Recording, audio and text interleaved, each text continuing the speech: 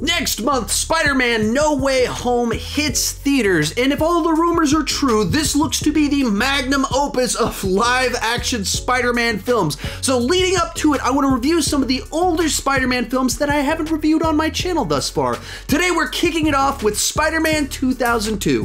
Let's talk about it.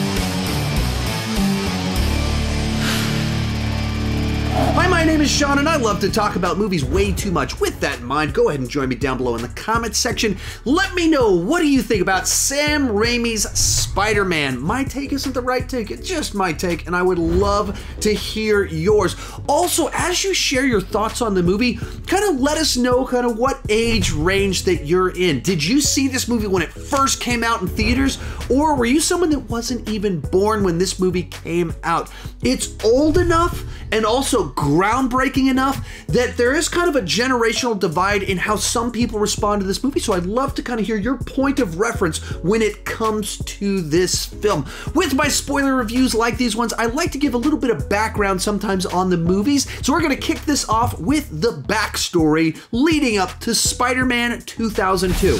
And if you're interested in this kind of thing, I actually did a video on canceled Spider Man movies a couple years back when Far From Home came out. And I kind of went into detail about a bunch of these canceled Spider Man projects that were in the works for years and years and years before Spider Man 2002 came out. But essentially, for over 20 years before this film came out, they were trying to get a live action Spider Man movie made. In the late 70s, there was a live action Spider Man TV show, and actually, some of the, the pilot episode was released in certain parts of the world as a theatrical film. But after it kind of ran its course, there were some murmurs and attempts to try and make a Spider Man movie with the Incredible Hulk from the Incredible Incredible Hulk TV show.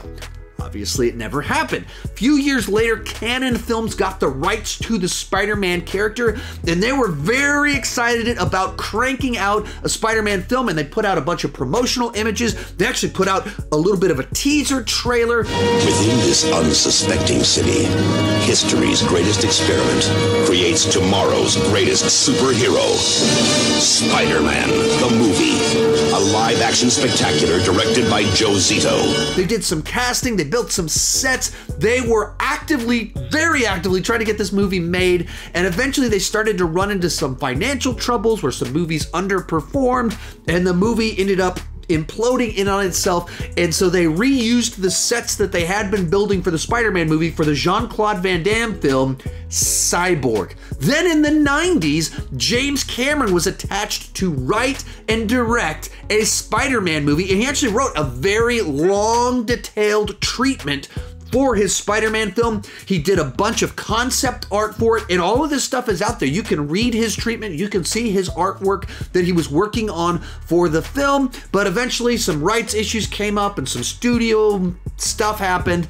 He dropped out of the project. It didn't end up happening. This led eventually to Sam Raimi being hired to make this film. And if you're one of my younger viewers and didn't see this film when it first came out in theaters, it can be a little bit difficult to understand just how important this film was. So back over 20 years before this film came out, Superman 1978 essentially invented the comic book movie blockbuster genre. And then 10 years after that, Batman was another massive hit for the genre. But those movies were made before digital effects existed. All the stuff that we associate with the comic book movie genre with CGI and green screen wasn't really something they had access to when they made those films. In fact, if you have a computer, a $40 green screen, and have just a little bit of knowledge about the Pirate Bay and YouTube tutorials, you have infinite more possibilities to generate effects than they had back when they made those movies. In 1998, Blade came out, and in certain ways, it's the movie that started to kick off the modern digital age of comic book movies. Now, Blade wasn't an A-list character, it wasn't a movie that had a massive budget, but the film was a hit that excited fans. Couple years later, X Men came out. It was a much more well known property, it had a bigger budget, and it was a much bigger hit film that got people talking about comic book movies again. But then in 2002, Spider Man was the first mega hit of the modern era, the digital era of comic book films. Spider Man, of course, is one of the most popular comic book characters of all time. The movie had a massive budget, and 20 years later, it's easy to take for granted how groundbreaking all these shots of Spider Man swinging through New York City actually were at the time. Now we see this stuff all the time. It's very easy to recreate a city in computers. In fact, you could swing around New York City in two different PlayStation 4 games as Spider Man. But at the time, we, we'd never seen anything like that before that just felt so immersive and looked so real while seeing something so fantastic and amazing. And so, this is a movie that was incredibly important to the genre. It was a massive, gigantic hit. And I think that's a big part of why there's a bit of a generational gap with this one of the people that remember when it came out, how big of a deal it was. If you were in grade school, this is one of the first PG 13 movies you ever saw in the theater this becomes a formative film for you. Whereas if you watch it now, as a current high schooler, it probably feels a little bit quaint, a little bit outdated. And that's fair, that's fine. You just need to understand how important it was for laying the foundation and building up the foundation of X Men and Blade to get us to the MCU. With all that said, let's get started with the good. And let's cut right to the chase. I think that this is a great comic book movie that while certain elements about the tone and the effects might not have aged the best, the actual story and storytelling I think are top notch comic book movie. And a big part of that is that they had a rock solid script from David Koepp. This is the screenwriter that adapted Jurassic Park and he'd written Mission Impossible and he's been a major top tier screenwriter for the last 30 years, and he put this script together.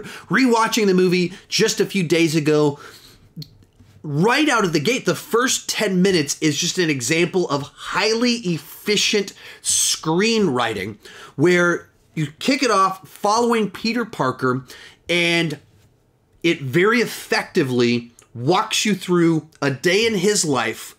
You understand who he is, his place in the social hierarchy. You're introduced to all these other side characters, and you meet the Osborn family, and you meet Mary Jane and Flash Thompson. All of it while very quickly getting us to the event where he gets bit by the spider. You understand him, you understand all of the people around him, and who who he wants and why he's interested in Mary Jane. You understand his friendship with um, Harry Osborn, and then with Harry Osborn meeting Peter Parker, you immediately realize that Norman Osborn respects Peter Parker more than his own son, and you therefore you understand the dynamic between Harry and Norman Osborn, and all of this is set up while moving the plot forward quickly.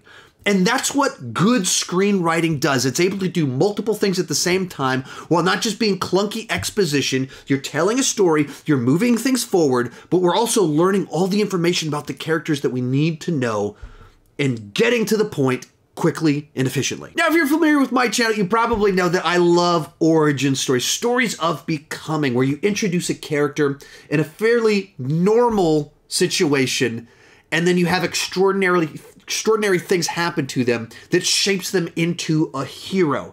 And part of that is gaining powers, part of that is getting the skill set to be the hero, and the other side to it is that character arc of what shapes the person behind the mask to be able to be the hero.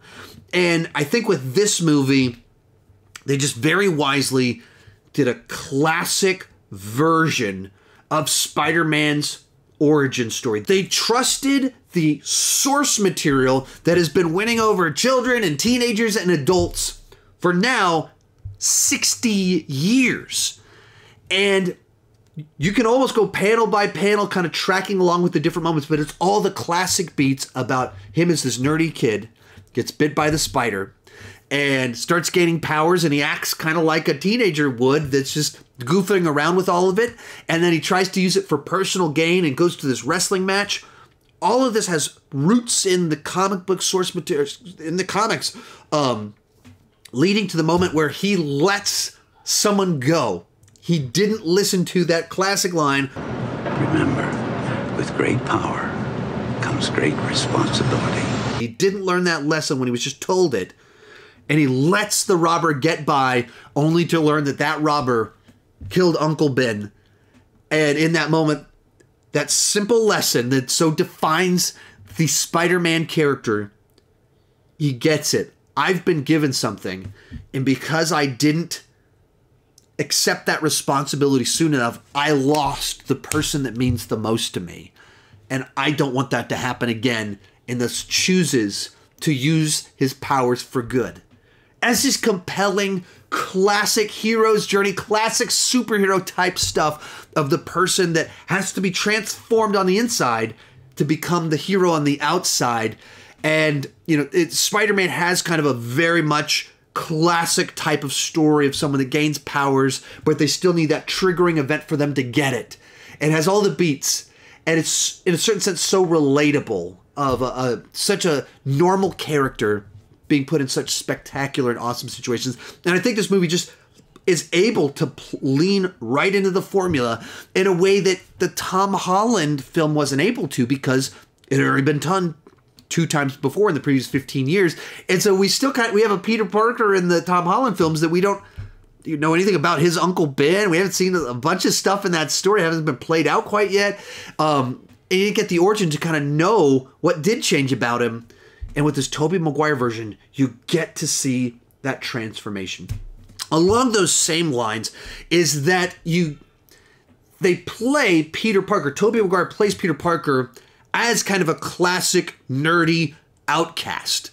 That you get this immediately in the film, his place in society that people don't. He, he's picked on because he's nerdy, and it bugs him. And in a certain sense, he's kind of still kind of clueless to. Like he doesn't want people to pick on him, um, but it's not like he's a brooding character. He's just kind of in his own world, taking pictures into nerdy stuff and pining over a girl that doesn't seem to care much that he exists just yet. And you see him like get who he is immediately in his place in the school and around him. Thus, as he gains powers and gains confidence through that, starts to know who he is, becomes a better version of himself, you see his place in society shift in the way people relate to him, in the way he relates to others, the way he's willing to talk to Mary Jane. Like you have a strong actual character arc there. Kind of going back to the Tom Holland version, where you don't have some of that with that version. Like he does that version does a lot of things great, but you don't see the transformation of who he was. Feels like he it, some of that's also the nature of how high school dynamics and things have shifted over the last 20 years, especially over the last 60 years. But, you know, he, he never comes off like an outcast. Like Flash Thompson picks on him a little bit, but it seems like they're actually kind of equals in the hierarchy of their social dynamics in the Tom Holland films. Whereas here you really see someone that just has this one friend, Harry, who himself is an outcast for different reasons. And they connect for kind of this odd friendship because of that.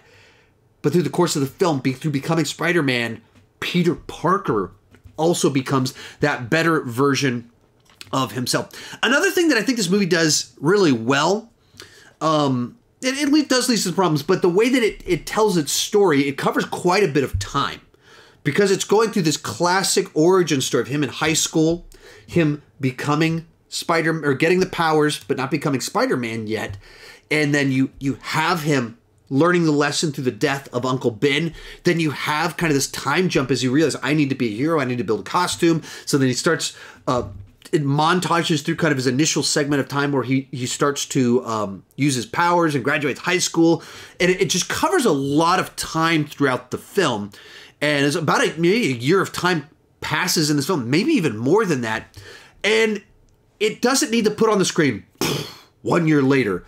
You understand what's happening because the script and direction makes it clear. You understand early on they are in high school and then you see them graduate. That's you, you very much get time has passed, and then you montage him doing certain things. And when he runs into Mary Jane after she's been working, and clearly there two people are playing catch up, so a lot of time has passed since graduation.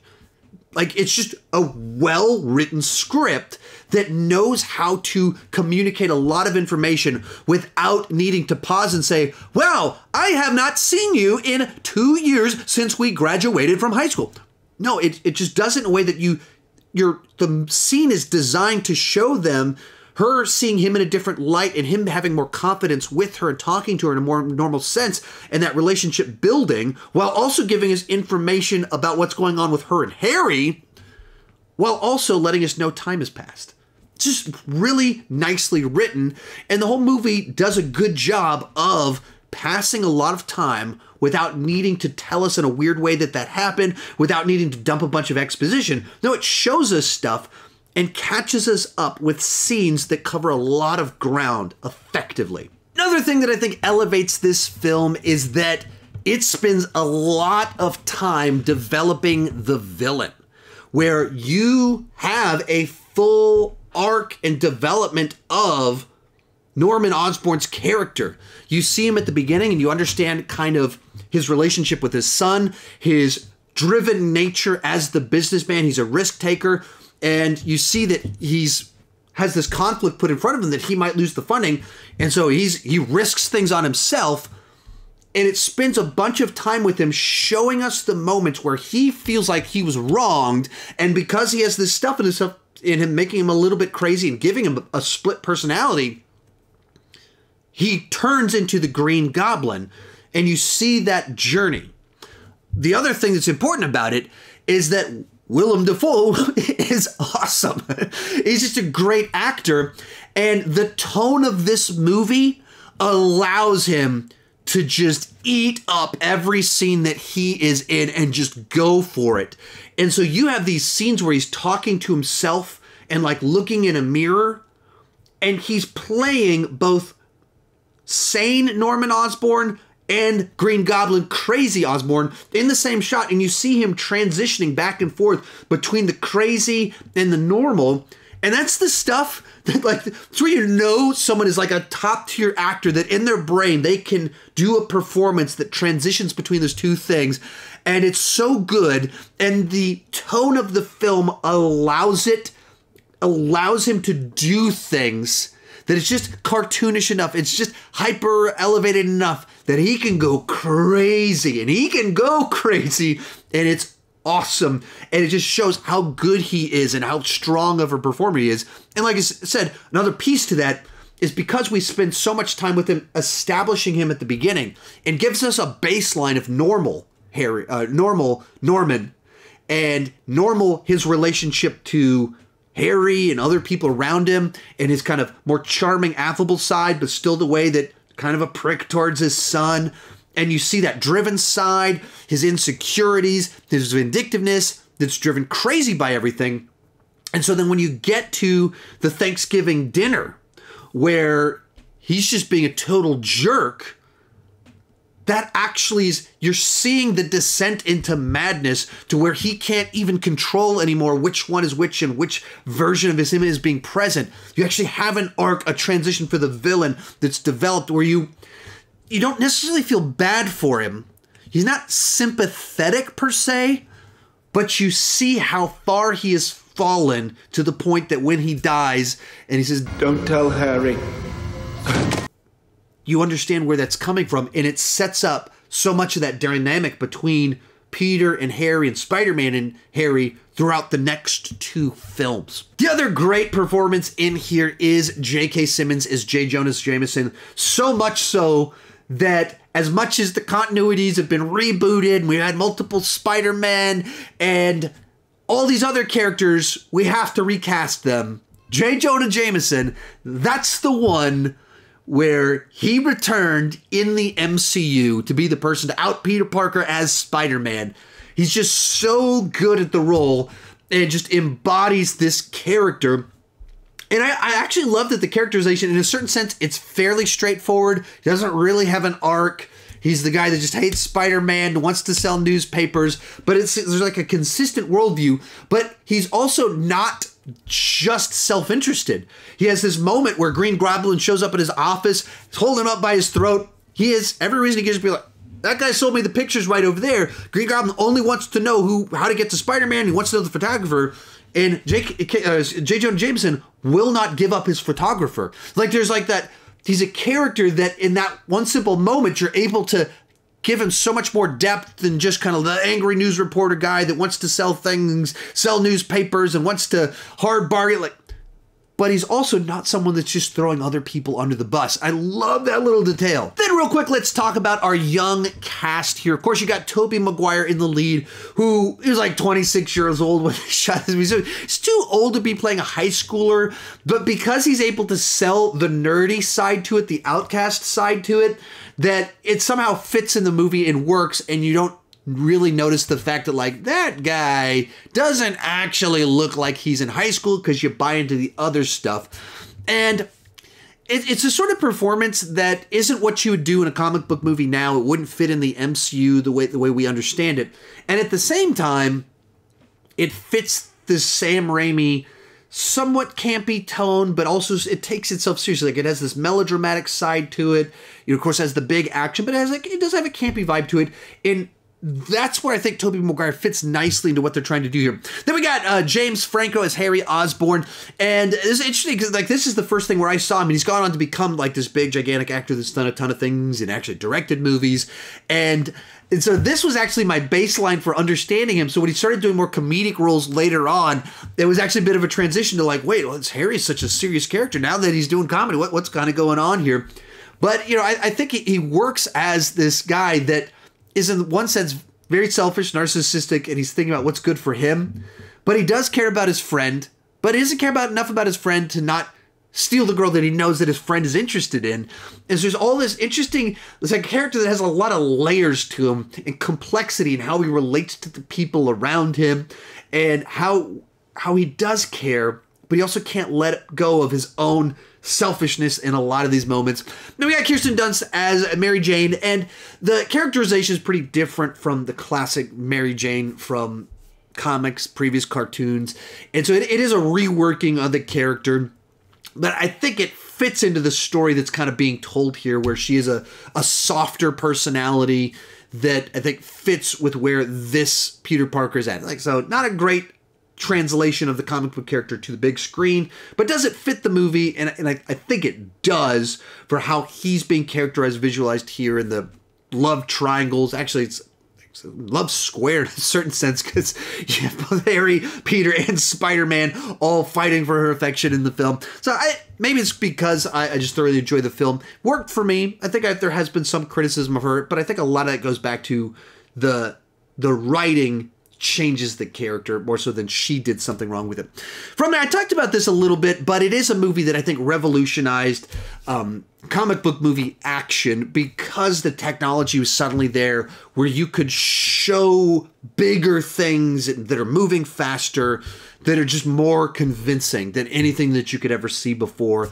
And so you can have these CGI spots shots of Spider-Man swinging through the Big Apple and they just look amazing. And then a lot of the other stuff sequences when you get to the actual action it is on practical sets so it kind of combines i think the best of both worlds where you're on a practical set where you see actual things moving and blowing up and debris falling on them and then being able to combine that with then CGI shots, enhanced shots of swinging that just makes the scope size of the city seem so much bigger and more real and lived in. Um, and when you put the two together, I think you get something really special. And finally, you have to talk about Danny Elfman's score on this one, and I, I think it's one of the great comic book movie scores of all time. It's just kind of one of those those magic pieces of music that perfectly captures the character, captures the emotion. It's iconic, it's memorable, it's heroic. It's everything that you want a a comic book movie score to be. And I think the other thing that's uh, in particular I think stands out to me is that Danny Elfman has certain Elfman isms where some of his scores bleed together a little bit with the way he does some orchestration. And you know he did like the score for the flash tv show. He did the score for dick tracy. Both of those ones are very reminiscent of the batman 89 score. But when you get to this one well you can certainly tell it is an elfman score it stands out it's unique and doesn't at all feel like he's just borrowing his old bag of tricks no, he brought a great piece of music that absolutely fits Spider Man, this story. It is just one of the great pieces of music inside of the comic book movie genre. So when you put it all together, for me, I think it's a great origin story. It's a great classic version of Spider Man that big part of what makes it work is that you have a strong developed hero, but also a villain that is equally well developed, where you care about what's happening to both of them. So when they come into conflict, you actually feel something. The characters are interesting, they're fun to watch, and it was a groundbreaking film that was able to do things that we that we'd never seen before. And so I think that this is a great comic book movie and a great Spider-Man movie. From there, let's move on to the mixed aspects because of the film. From there, let's move on to the mixed aspects of the film. The big thing here is that now that we've had like a hundred more Marvel comic book movies since this movie came out, this one starts to feel a little bit dated. This movie broke ground, it set the template, it helped us understand how to bring these characters into big blockbusters and balance the comic booky, the cartoonish, the melodrama, the human aspects, the fantastic. It's so important to the genre, but they have improved on a lot of that stuff. Of course, technology, CGI, all of that is dramatically improved over the last 20 years, but just also in how to do the tone right, how to do humor without getting goofy, how to have the cartoonish aspects without being campy. There are things about this movie that haven't aged all that well. There's some effects that, if you're not used to kind of older practical effects and sets, they can look artificial to you, where to me, as someone that grew up on watching practical sets, that stuff looks more real to me than CGI stuff. If you're used to, if your eyes were adjusted and you're learning to love movies to CGI sets and enhanced sets like that, then they, they look probably a little bit small scale and goofy and contained to you. So there's things about it that are that are dated. That's not something that hurts the movie for me. I do understand though when someone that was born in 2003 or 1998 and they just didn't grow up watching some of these movies. They did grow up watching the MCU. By comparison, this feels like a relic of the past that was an important stepping stone to get where we're at, but where we're at is a dramatic improvement on what came before. I get that perspective. That's not the way that I see it. From there, let's move on to the bad. And the big thing that comes to mind here for me is that because they are telling a story that covers so much time and giving origin story of both a hero and a villain and doing kind of some of these time jumps and montages, the way it plays out, there's not always a lot of urgency. The stakes aren't particularly big. And so it it while it's telling a story that's compelling, it doesn't feel as big as so many films that have come since. And in particular, you have a plot where Green Goblin is primarily just out to get people that have wronged him. And so then he takes out the military people and then he takes out the Oscorp board. Out But when he takes out the Oscorp board, Spider Man shows up, and therefore then Spider Man becomes the next person that has wronged Green Goblin, Norman Osborn. So then he's out for revenge against him. So as you move into the back 40% of the film, Spider Man's not trying to stop and hunt down Green Goblin. Green Goblin is trying to hunt down and stop Spider Man. And so I, I, just kind of the nature of the way that story plays out is a little bit clunky in the way that it happens. And um, it, it gets a little bit kind of episodic in the way that it does some of the stuff where like Green Goblin shows up at the newsroom and it's like he just blows up part of a building and picks up J. Jonah Jameson. And then you have this segment where he shows up at a place that's on fire and then he shows up and messes with Aunt May. And so it's just kind of a lot of kind of these little sequence type things that, as opposed to doing quick little bits of him showing up doing something small, that probably would have worked better to I don't know, structure that differently, tell that story differently, that creates a scenario to where maybe Spider Man's trying to stop him from something evil rather than him messing around with Spider Man for like 40 minutes of runtime in a way that's it's kind of weird when it's like three different things of like, hey, got you to show up. Hey, let's talk real quick. Wait, you're not going to be on my side. Well, then I'm managing and to mess with you a little bit more. Just, just a, kind of a weird way to structure that.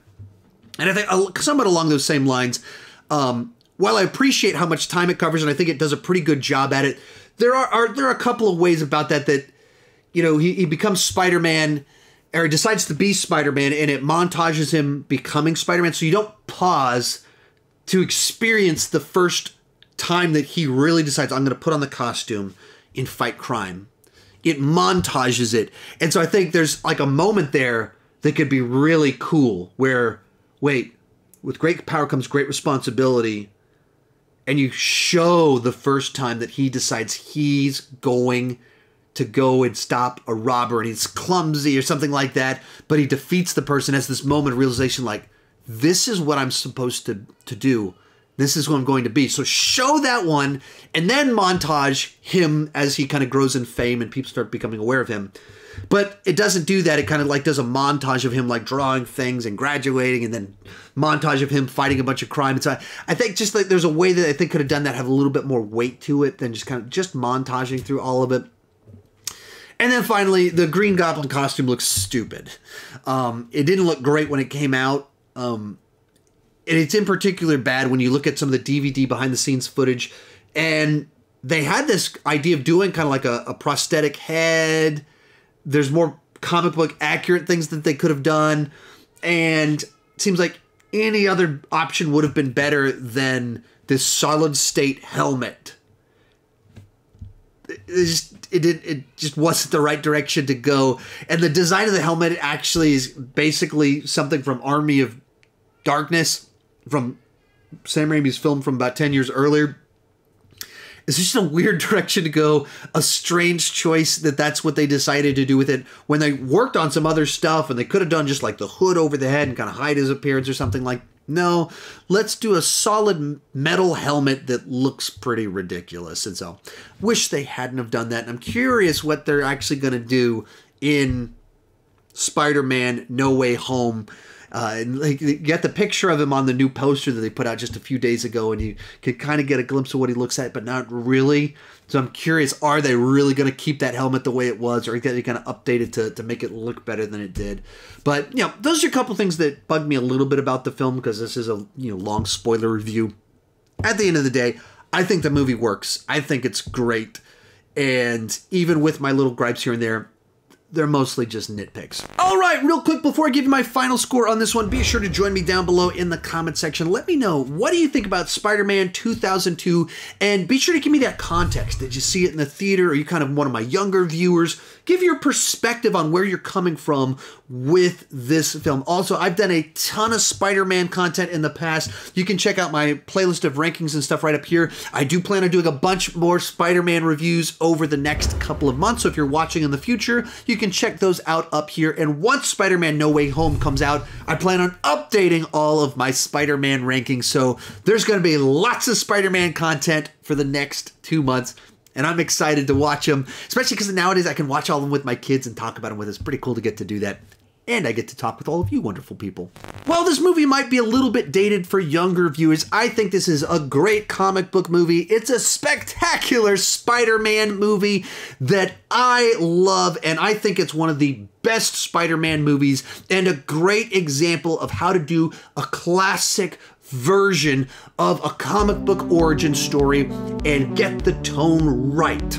Overall, I'm giving this one an A on the entertainment scale. I'm going 9 out of 10, and I think this is a must watch for Spider Man or comic book movie fans. If you enjoyed this video, I've got more like it. Check out my Spider-Man rankings right over there. You can check out my Spider-Man reviews right down there. And over the next couple of months, I'll be adding a bunch more to that playlist right there. Thank you so much for watching and keep talking movies too much.